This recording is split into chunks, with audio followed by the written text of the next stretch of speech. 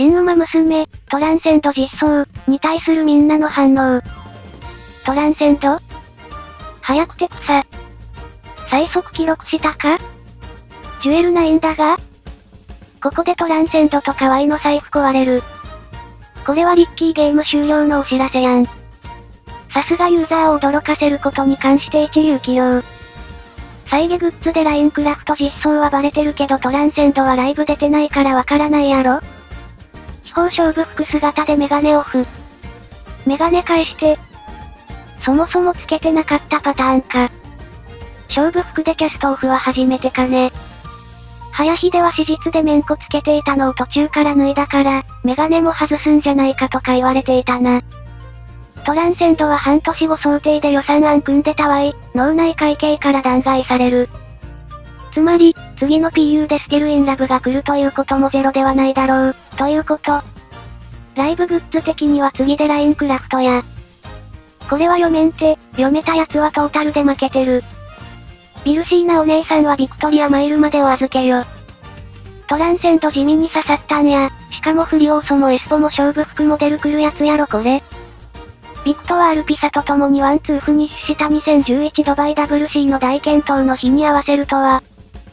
ビクトワールピサおめでとう、俺の出番は。いきなり新規ダート娘が実装、ダート祭りが近いのか？もう実装かい、早い、早すぎる。トランセンドは嬉しいけど、サポカがめちゃくちゃ魅力的でどうすればいいか困り果ててるのだ。うわー、トランセンドもう来ちゃったー。ってことはエスポワールシティもすぐ来ちゃうのか ?21 日の更新でエスポワールシティが来るって、かかり。唐突に単勝マン馬券をぶち込んでくるんじゃない単勝で100万は行くだろこんなん。100万いってもこんなん買える人はトータルでマイナスやろ。ネット競馬もまだ反応できてないんだ。ネット競馬よりもトランセンド公式が先に反応してて草。9日誕生日だったからその伏線だったんだろな。新キャラの追加パターンがわかんなくなった、にしても早くね ?2 月22日発表から3月12日育成実装だからだいたい20日ぐらいだね。早すぎんだろ。サポカにもイベントにもアニバーサリーにも出てないぞ。これまでの法則何もかも粉砕された。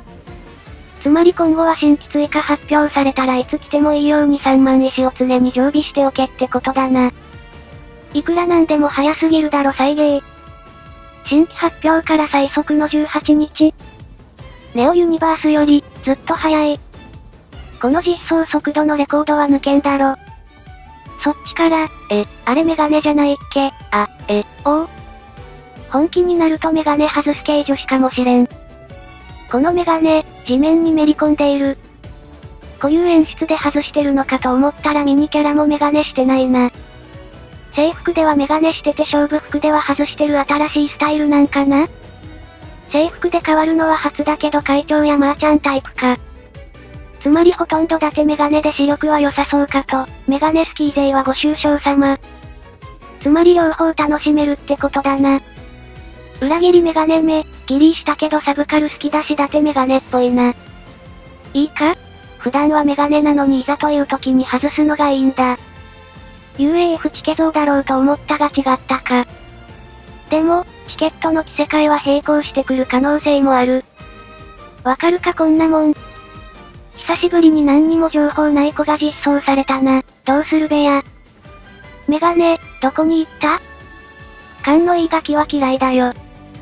メガネは俺が置いてきた。練習はしたがはっきり言ってこのレースにはついていけない。あんなの飾りです。偉い人にはそれがわからんのですよ。メガネがデバフなのではなく、メガネキャラがメガネを外すのがバフを運営自らが実践してくるとは。ただ単に固有の演出中に少しだけ外してただけってオチになるだけな気がするんだが。と思ったけどよく見たらチビキャラもメガネつけてねえな。発表から実装までの最短記録レコード。これはなかなか塗り替えるのは難しい。ビルシーナ姉さんどこ ?VM あたりまで待たされるかと。メガネをトランセンド。気に入った、最初の10連で出るようにしてやる。この大差優しい。あれは嘘だって言って天井まで回させるやつだぞ。斜め上どころか、大気圏突破する勢いで読めなさすぎて芝生えるわ。その生えた芝をガン虫の唐突なダートを待つ以下だからな。メガネしてないから誰？ってなったわ。これはさすがに李白さんを責められない。また李白が負けたのか。奴は5車線の中でも最弱。こんなん当てれる方がおかしいからセーフ。競馬で例えるならこれ変える奴はトータルで負けてるって言われるやつ。半年以上は待つことになると思ってたから嬉しすぎる。忘れた頃にひょっこり来るだろうなって思ってた。確かに忘れた頃ではあった。デフォルメの方もメガネないからそれが基本。2011の南部配布中が再現されてたら泣くわ。シナリオだとされてるかもな。もしかしたらダート環境があまりにもリッキーだから選択肢を中央で無双してたのにファルコを倒すために地方まで乗り込んだ奴だ面構えが違う。トランセンド可愛いな、アニバ終わったらちょい仕返しやと考えてたのは愛だけじゃないはず。他の子が先に来るだろうからまだ余裕あるなとか思ってた。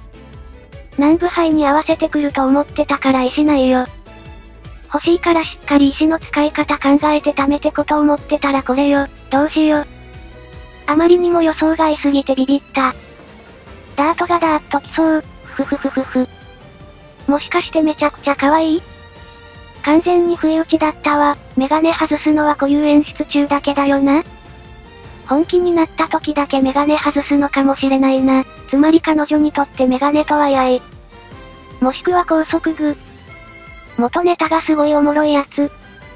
豆乳発や、その子公開したのいつだったよ再現。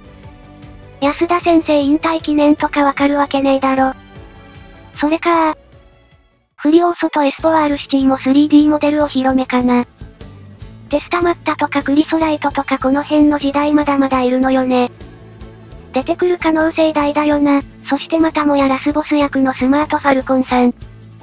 あれ、なんか最初見た時より可愛くなってない？